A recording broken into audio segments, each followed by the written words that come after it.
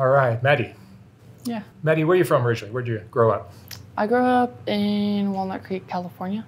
Up north. Yeah, Bay Area. And tell me about your childhood. You had both your parents when you were young? Mm, well, I'm adopted, and I was taken at birth, and um, so I went into foster care, and my um, I was hit throughout foster care. So my adopted mom got me, originally there was a couple that came along and wanted to adopt me, but I was too sick. I had ear infections that were killing me, and when my adopted mom got me. Um, she um, took me into doctors and got me surgery on my ears because I needed tube replacements. Um, so um, I dealt with um, being a traumatized child from the beginning of birth. From your first foster family?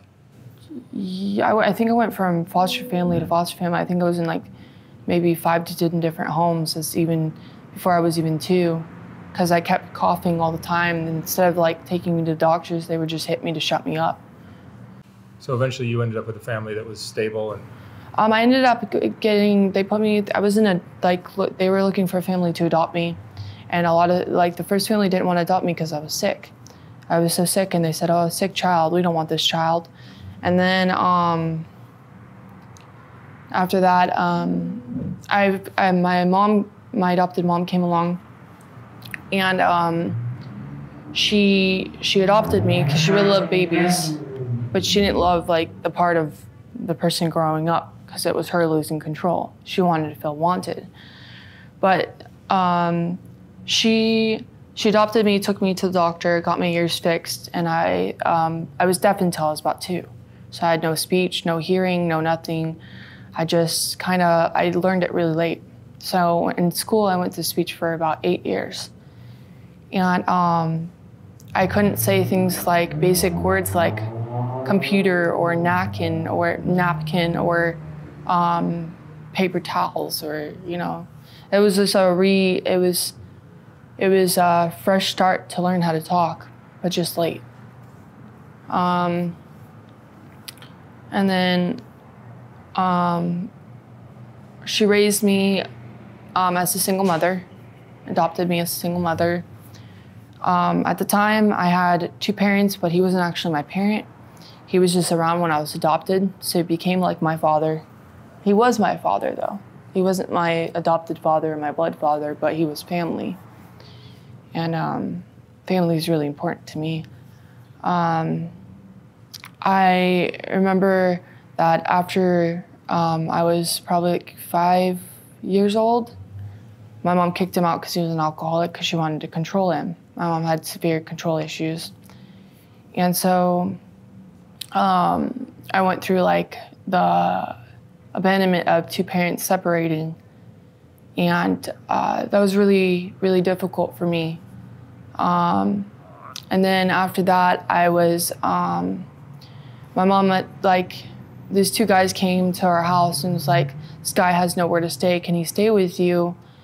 And that was the beginning of my childhood rape. Um, I went four years of being starved, four years of being hit with metal bar, four years of being hit with a horse whip, four years of sexually mis um, rape, sexual rape, four years of being locked in a room, four years of being tied to a bed, four years of just childhood trauma that can't be taken back, but it's made me who I am today. Um, it got my mom ended up finding someone she wanted to marry.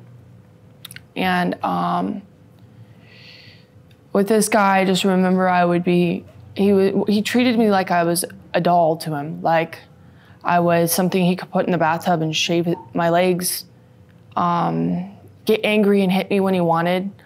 Um, he would, he would like do all kinds of nasty sexual play after I was done with like even before school, like remember before kindergarten, he'd take me to the gas station and he would like pick up magazines of trans women and show and trans men and show me at that age and he showed me what my first vibrating dildo was at five. I remember I walked into school and I was telling other kids what a vibrator was, like a dildo, because I didn't understand why I would get in trouble. And I went in and they said, You can't say that kind of stuff or I'll have to suspend you. But, like, where were the teachers thinking? Like, why would a kid be saying that? Did they ask any questions? And I remember I went to school one day and I told the teacher, Hey, look, I'm being, I'm being touched, I'm being hit and they checked my body and they didn't see any bruises. So they had sent me home with the guy that was doing it to me. And that guy ended up telling me, and if I told anybody, that he would take my mom and me, hang me from a tree, cut her open in front of me, and then cut me open, and I would have to watch her bleed. Um, This this was your adopted mom's boyfriend, yeah. This this was just the beginning. and this this started the After- sexual part of it started when you were about five. probably like the beginning of five, four, five.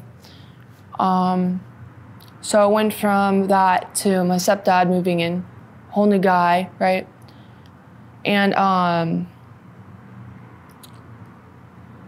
I remember that he wasn't a bad guy, um, but tension started because I remember that the first night was great, but after that first guy, that the guy that abused me, my mom brought around, I promised myself I would always hate my stepdad. I'd always hate him. I always look like, at him as he's evil, as he's a bad man. And um, he wasn't a bad man.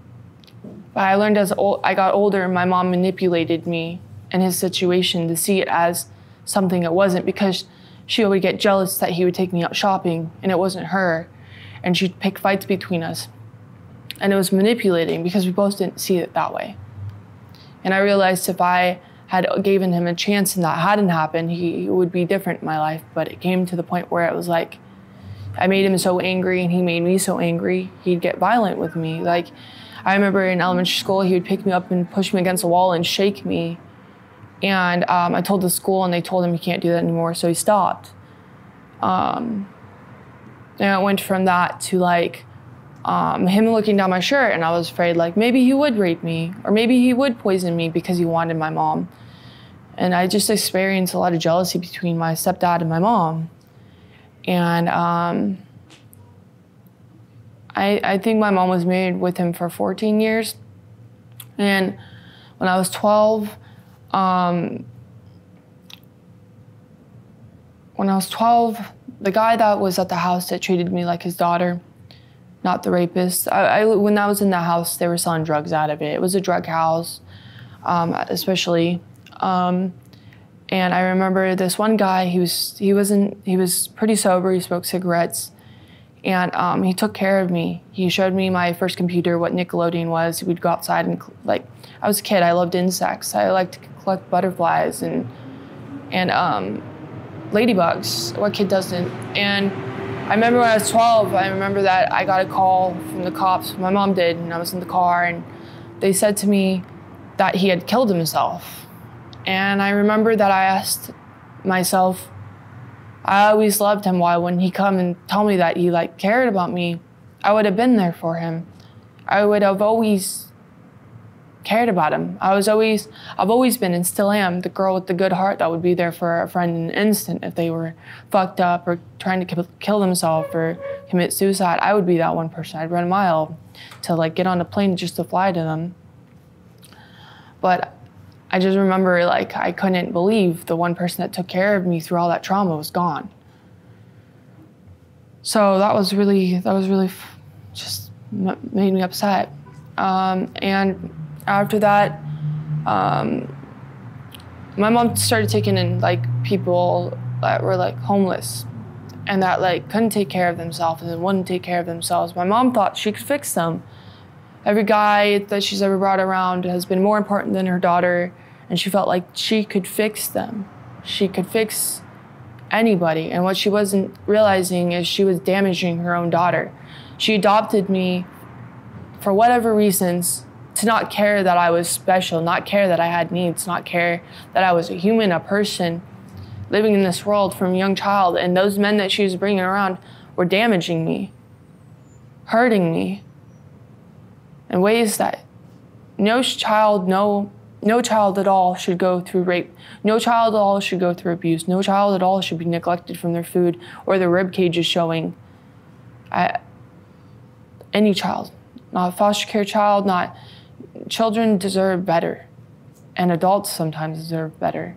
But it after after the whole situation with um, him killing himself, my childhood rape, childhood past, um, and my stepdad. Um, by the time I was 14, um, I was, well, even before that, um, I was on online dating sites because I didn't feel safe to be in my own home at this point. I was jumping from house to house, sleeping at random people's house just so I felt safe. I felt safe with a random more I felt more safe with a random person than I did at my own home. And then one time I got on there and I started looking to seek help from like finding somebody to sleep at their house. I was kidnapped for a week. The guy drugged me up. He was going to take me to Mexico. And then the cops showed up at his house and said, We tracked you. Where is this girl at? They asked me if they knew the girl, because obviously they knew that he had taken me. And then he dropped me off in front of my house and I went inside and crawled in bed because I was on I was on Oxycontin. He drugged me up. I'd never been on drugs before. I've never done weed, I've never drinking. He gave me Oxycontin and he gave me Xanax. And I just remember I passed out and he was having sex with me and he was probably like 27 years old and I was 14. And um, I just remember being gone for a week and being drugged up and being out of it. And um,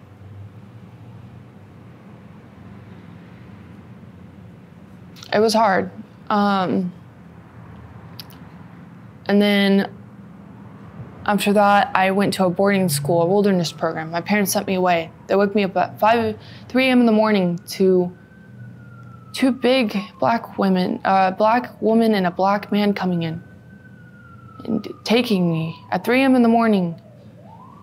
And all I could think is, why are two people taking me early in the morning? Uh, it wouldn't even matter what color they are. Like, could be two big white people, and I'd be scared. Like, I just got I just got kidnapped, and my mom's paying three. My, my mom's paying these people to come take me, and I'm like thinking, who the fuck is she? Who is she paying to come take me at 3 a.m. in the morning? I thought I was gonna be sex trafficked at that point. Like my parents were conned or something. So I'm waking up at 3 a.m. in the morning, taken to a white van, like those vans used to call the sex trafficking vans, the pedophile vans. Put in there and get told I'm taking, being put on a plane and going somewhere. They wouldn't tell me where. And I'm thinking to myself, like, fuck, what's gonna happen with my life? Well, I ended up in a wilderness program. About six months of that, I was outdoors. I backpacked, I hiked, I went trailing, and I loved it all actually. I didn't want to leave. I didn't want to go back to society. I didn't want to be a part of society. I loved being outdoors so much that I felt at home. I was nice. And so I did that, and then I went to a boarding school and I uh, would run from these boarding schools because I felt forced to be somewhere I didn't want to be. I don't let people force me to be where I don't want to be. It's not who I am. I'm my own goddamn person. And um, so I just ran away. Um,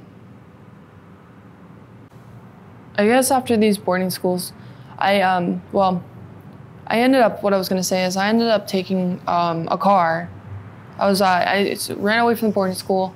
I ended up um, finding someone's house that wasn't there, and I went and took their car and I drove back to California from Idaho because I felt that I'd never driven a car before. I didn't have any directions. I didn't have a map. I didn't have I didn't even know I could navigate, but I just got in a car and I drove it. I drove it back to California. An hour away from getting where I wanted to go. I was almost to freedom. I got caught. I got pulled over, and they were like, "Hey, we have to take you to juvie." And I was honest. I was like, "I don't have a permit or anything." And I was like, "Okay, well, you can arrest me now because I'm not supposed to be driving this car." And um, so I went to juvie, and then my parents were like, "We got to come get her. She's supposed to be at a boarding school." Brought me back up there, and I tried to run again. Like when the the spot was, when I got to a gas station, I tried to run again. I didn't get away. But then the detective actually, um, they asked me to bring me down to the police station because they needed me to talk to a detective. And so I went down to the police station and I told them the honest truth. And then when it went to court, I was just honest about it. I, I and the co- the the judge actually looked at me and was like, "Why are your parents putting you in a boarding school? You're way too smart for this." It's like you can get out of and do something like that. We don't really hear about cases like this. It's very rare that a, that we have an intelligent girl that can out can do that kind of stuff. And maybe your parents shouldn't be putting you in programs like this because we don't need like cases like this. It's just um, so uh, after that, I went down to a lockdown facility. It was called Cinnamon Hills, and um, they were really disturbing. They, I feel like that what they did was like rape. They would take these kids once a month, these girls and these guys. I think it was the girls. I don't know about the guys. They separate us, but they take us into a doctor, and they would like say that we needed inspections every month.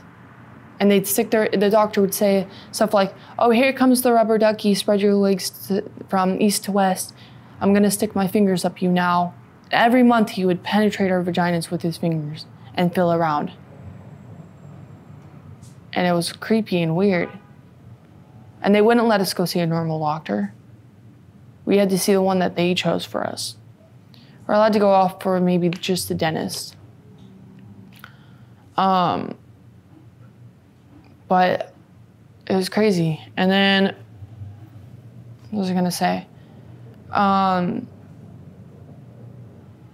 I think that was like being there. They would like had a lot of mentally ill people, and um, I was not one of them. I would watch people do crazy stuff, but I would be quiet and just watch and observe.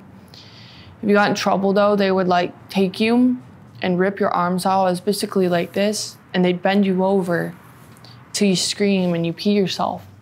And they'd scream in your face and traumatize each person. These were underage children they were doing this to. This was in Utah. And they would just scream in your face. And these people are here for trauma, but they would use that against them. And so it was like really bad to see that. That- That's the way that people treat people. Like, and the and whoever was running that would allow that to happen. Um, but as I graduated from that school, I went to another school and started doing better. Um, the one thing that was crazy is that since I was like five, um, my teacher said, "Oh, she's ADHD. Put her on meds." They put me on Adderall. I think it was actually at four years old. I was on Adderall, and it really mentally messed me up really early. And then I went on like from med to med to med to med to med. Every med had a negative side effect. My mom never listened to me about like how that affected me. It was really awful. And so I finally, when I was out of the boarding schools and I went through all that shit, I ended up taking myself off of it. And I remember that feeling of I actually felt like I was myself. I was a person. I haven't been on meds since. I don't touch drugs. I don't touch meds. I like being who I am. I'm comfortable with myself. And I feel confident within myself because I don't let anything control me that doesn't need to control me. Not a person, not drugs, not people. I am able to do what I want to do in life and know that I'm happy with myself. I could walk out with my hair all fucked up and not care what people have to say because it's me. I'm just me. If you have a problem with that, that's your own problem. That's your own self projection. Maybe you're worried about how your hair will look out, but that doesn't mean I'm you. So that's how I was. And then after that boarding school, I came home and I met this guy named Harris.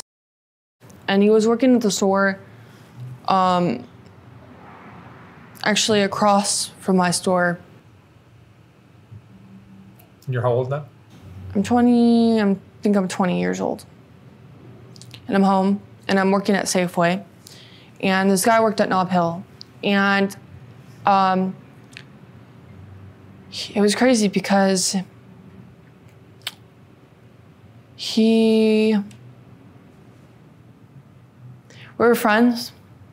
We weren't dating or anything. We are like friends. And um, i remember going on these dates with him everything was fine. Um, we were like in a relationship relationship. At least i didn't think.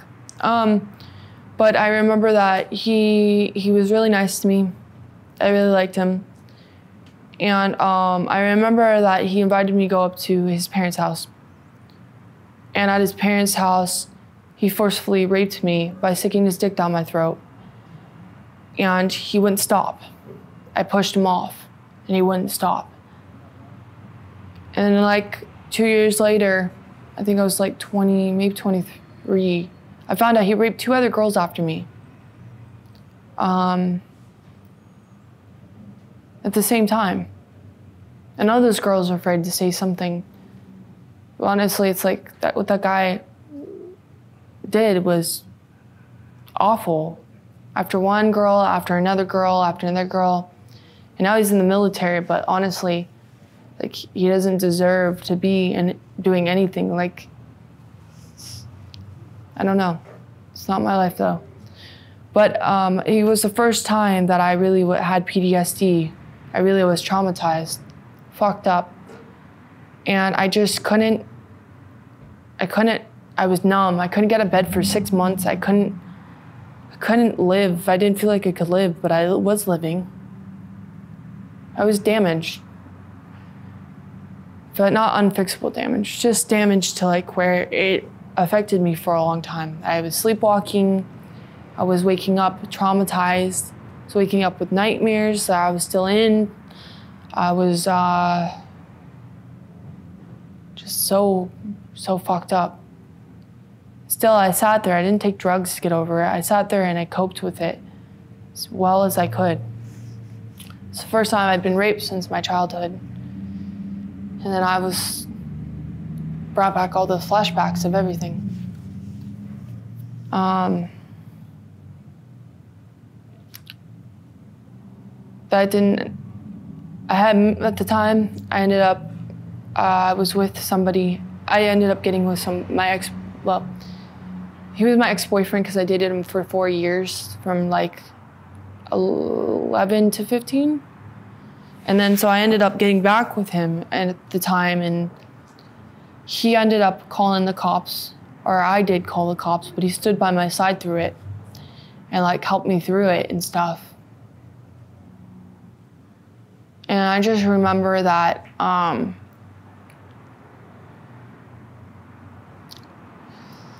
um, after that was over, I remember I ended up getting drunk for the first time with him and his friend. Um, their names were Colby and Dylan, and um, my he ended up putting Adderall in my alcohol and drugged me. Um, 14 years of knowing someone, maybe a little less. You're supposed to trust them. The one person that stuck through the rape case with me, not even the case, I didn't go to court or anything, but ended up raping me. And his friend raped me. And the only reason I knew is because I woke up with fingertips on my legs and handprints, palm prints on my hips from that. I'll never forget that the one person I loved, the one person I cared about, one person I was in a relationship with, the one person I trusted, did what he did and just acted like it never happened and went on with his life. Like, it wasn't even that he acted like it didn't happen. He knew he was guilty and couldn't say sorry and own up to it because he's a fucking coward. And that's all I see in that person is like, he knew I loved him. And when we broke up, I wasn't willing to go back to being his girlfriend right away. So he lost his power, so he to get his power back by raping me, by abusing me, wanted power over me. And I know that Colby, I heard, went to parties and raped people, but the other guy wasn't like that. And maybe influenced him to do it or something. I don't know. But all I do know is that it was it was bad because I went from one rape to another, but the next rape was my best friend. But after that, I I ended up feeling like I was stronger and that I could move on faster that time. Maybe I just was so damaged by the first one, the second one wasn't as bad. But after that, I um, I ended up, um, I think, getting with someone else for about three years, like two and a half. And I fell in love with that guy, and he was, his name was Steven. He was a really good guy, had a lot of problems. I accepted those problems.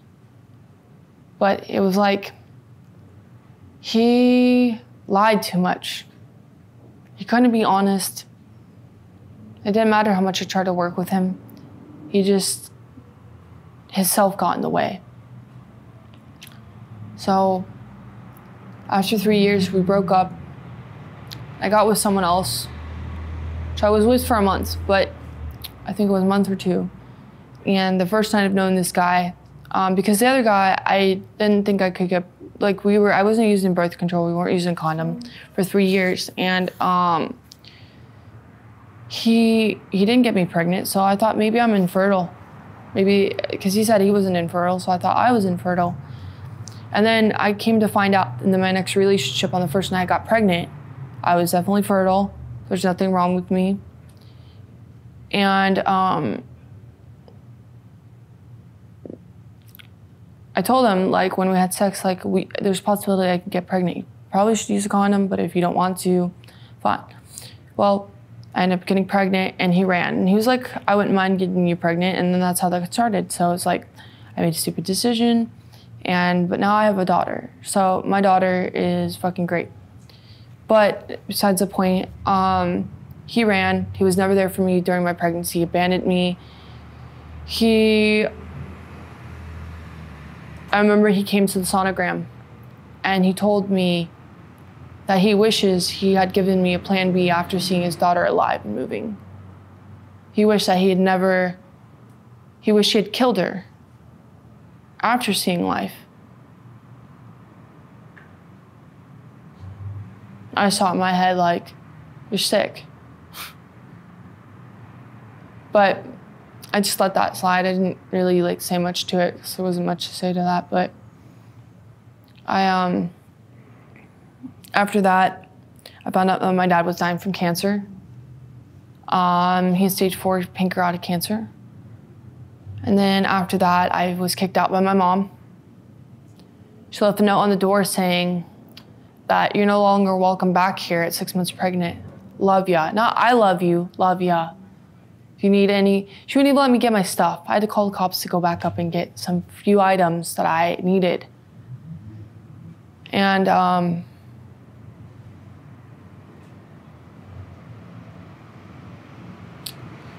she blamed me for her divorce, which she caused herself. She controlled his money. She she dug herself a hole. And on top of that, he wasn't happy. He cheated on her with her high school friend, which wasn't okay on his part either. They both did wrong. But they didn't communicate or talk about it. And it was like horrible. But I remember I remember I was standing up for my mom so hardcore, literally not seeing that she was manipulated. It took me getting kicked out to see the true my true mom. So after that, it was like I was kicked out. Now I'm six months pregnant, about to be homeless. She stole all my money. I had three thousand dollars saved up. Stole all my money and kicked me out. I'm supposed to go to a homeless shelter. Don't have a ride there. Don't have any clothes. Don't have anything. Luckily, I was dating a guy for like a weekend. Him and his mom took me in. And um, I stayed with him for a while. Um, and it was really hard because I was very vulnerable. That guy did a lot of, that person did a lot of hurt. And um, I was gaslighted a lot. And I was raped, and he said that it was because he was drunk and he couldn't remember. And I questioned that. Um, but I tried to talk to him about it later. He just justifies it like nothing happened. So even talking to him about it, it couldn't do that. It was impossible. I mean, I loved the guy, but it was impossible. He helped deliver my baby, so and took me in when I was homeless. So was it that I wanted to be there still, and or was it that I felt entitled to be there because he's, he helped me out through the hardest moments? Like I'm supposed to be loyal to people that help me out, but it was hard because I don't want to make him mad or make him feel upset because it was always so bad. We'd have screaming matches. But I ended up getting my own place. And then um, I made the mistake of, after that place, going back to my mom's house for a little bit. And I realized she got too much, so I packed up my stuff and I took a bus down to LA. I moved down to LA and I was down in LA for a while. And I didn't know if I was gonna place. I put my daughter in a car seat, packed two suitcases, got on a bus and left. Took a leap of faith into the unknown. I didn't know if I was gonna have a place, didn't know was gonna happen. But I had faith that like I'd be okay. When I got there, I found a room for rent. And I made it. And now I got my permit for the first time.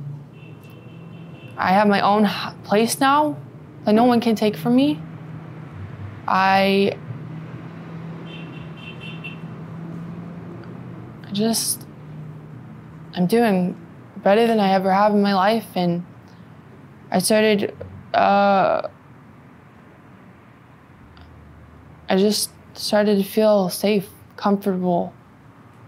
And for the first time, I felt like I was at peace that I didn't have to worry about abusive boyfriends, bad friends, bad parents, because now I have the freedom to cut out anybody that doesn't serve my purpose in life.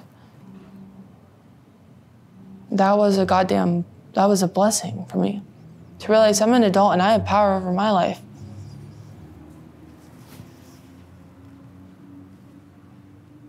And how old are you now? 24. 24. took me 24 years.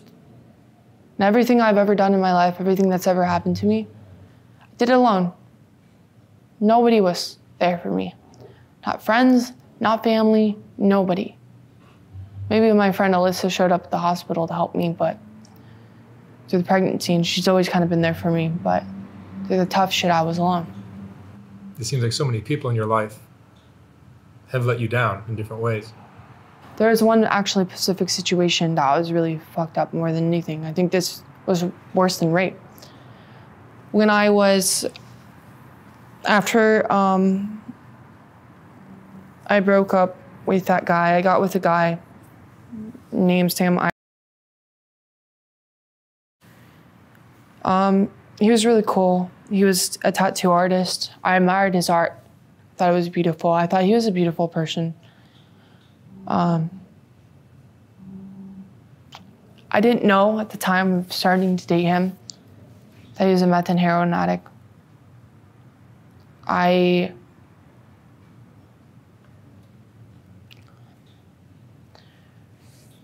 I uh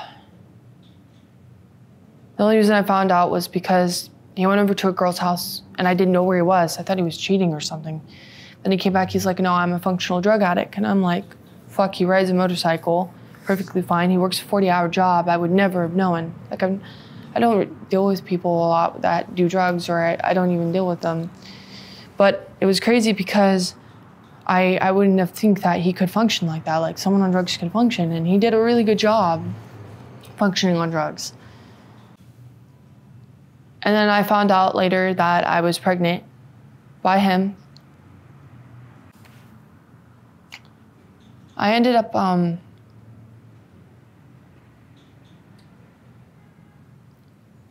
I ended up um, I ended up getting a call from a little cop showed up and told me I had to leave his property. I ended up getting a call from his lawyer. Basically, his lawyer was trying to force an abortion on me, trying to say they would take me to court to like force an abortion and and then he would do all these say nasty things and then they're like, We'll pay you a lot of money, we'll pay for your abortion, we'll do this, we'll do that. Like, um, and it felt like my free will was taken away from me. But like, maybe that's what he wanted was to hurt me in that way. Because maybe I had hurt him, but he wanted to really destroy me. So when I went through the abortion, um, I went through it alone. I remember that I saw the baby alive. The next minute, I saw the baby dead. It was really traumatizing for me.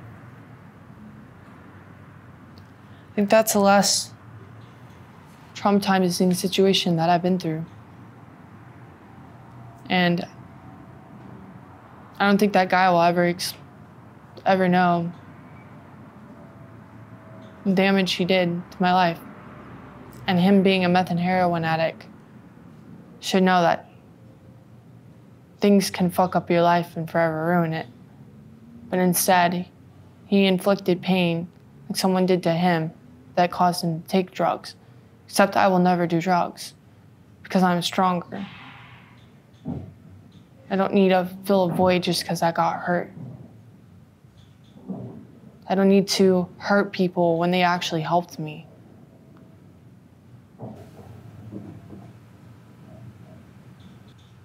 And then at some point you got into the porn industry. Um, yeah, I, uh, I did. Um, nothing much to say there. It's just like porn isn't really real, like realistic. It's like they do make a lot of money off of it, but the real thing is, it's like filming a movie, like the movie industry. Cut, take, cut, take, cut, take, cut, take.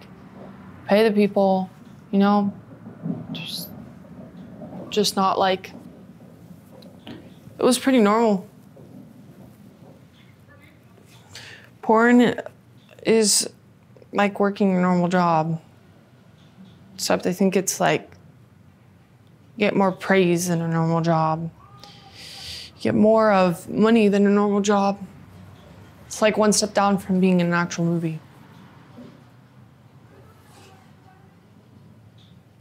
That's how I feel about that. I've never been traumatized by porn. Never had anything bad happen. So, I mean, what, what is your view on the porn industry and, and how it is it, is it good or bad for women or for people or men? Or well, like I, I was, um, I feel like um, porn empowers women. Uh, some women. Um, for some women, they have had abusive relationships, abusive families, and I feel like they come into porn and they're making money for a fresh start. It's not that they necessarily want to go have sex for money on camera. It's that they realize that, hey, look, I can save money. I can have a fresh start. I can be on my own. I don't need this abusive boyfriend. I don't need this abusive family. I can literally save my money to build my life. I can build credit. I can save my money. And a lot of girls do spend their money, but if they were smart, they would save it. Save, save, save, buy a house, or buy their, get their own apartment to start, build their credit, work on getting their car if they don't have one, try to get their permit, take driving classes so they can pass the driver's test. There's ways around things when you're suffocating. There's always resources. There's always people willing to help. To be willing to communicate and don't be afraid to ask for help. But I do feel like porn can empower some women. There's some women that, that don't, it doesn't empower them, and maybe that wasn't meant for them. That's how I feel. Yeah, it's certainly a career not for everyone, not for every girl. No, definitely not. But you found it empowering to, to some extent. Mm, I found it kind of boring. Weirdly, I find that it, yeah, it pays good, but I found that I really, at the end of the day, I get, I get kind of bored, just because it's like, not that I don't enjoy, like, the times that I have to have sex. It's more like I, I feel like I um. I just feel like um like it's another job I'm doing. Like no. Like there's this girl in the industry, her name's Emma. And like I really admire her because she set out goals to um, set aside her money, build her credit, get her first home on her own, put a pull in, um, like successfully do what she's doing, take pride into it, and look like she cares about herself. And it looks, if she's not happy, she at least looks happy. I don't know her too well. At least she looks like she's confident and happy. She's supporting herself. Wait, what? She's supporting herself. Yeah, and I really admire her, and I, I don't think, like I know she's she's probably a really guarded person, doesn't let people near her, and but to be honest, like I really like if I like ever got the chance to tell her like, hey, look, you're a really awesome person. I really admire you. I'd like to be a good friend to you. I could learn um, from you. I could really, you could really teach me uh, like things, and I would like to like be there for you as a person. Like, I remember there's days that she had bad days, and I text her, hey, how are you doing? Just because I'm I care about people and I get worried, and I see her upset, and I just want to be like, are you okay? You know, is everything okay? Because there's been girls in the industry that have killed themselves, and I worry about anybody like maybe some fans harassing her, or maybe something's going on. I just want to be there for that person. Doesn't matter the person. Um, but I see, I admire her. That would be any girl in the porn industry. I'd be there for them, like no matter what. There's girls that I look after, I keep close eyes on, not just because if they're having a bad day, they, they need someone to talk to, I'd be that one person to call them. I had their number, I'd text them if I didn't on social media. But I think Emma's achieved a lot, and um, I think she's come a long way. And I, I, I think she's been in the industry for three years, and sh- she's a really cool girl. So, So your view on the industry is is that it's it's okay. That yeah, I'm mutual about it. That's how I would say. I, my feelings are mutual. neutral. Neutral, yeah. I don't have anything and I don't have like, I like, I think the positive I've already said, but I don't really have anything negative to say. Um, I think the only degrading part about the industry is when there's directors that force girls to do things they don't want to do and won't pay them to go home, because it's not in their contract. The contract we sign. So when they take advantage of the girls, when that's not what they're getting paid for, and that girl's uncomfortable and they're intimidating them because they know they're vulnerable. I don't like that. It's the only negative thing that I would say that's in the industry where I've heard from other girls that directors do do that. I haven't had that done. And if it was me, and someone tries to do that, I am going to leave. Doesn't matter what you're paying me. So that's how I feel. And going through all this stuff that you went through, I mean, what, what, what what do you feel is the most important lesson you've learned? A lot of the things that I went through aren't necessarily my fault, but as long as I can accept it, I can be comfortable with myself and move on. Things happen the way they do. You can't control them. You can breathe in the moment, tell yourself it's okay. Learn how to cope with it, learn to move forward, be strong, get back up, and move on. Nothing's stopping you from being a better, bigger person going forward with your life. You have to choose to do that. Nobody else steps in your shoes at the end of the day. You choose to step in your shoes and make yourself go forward.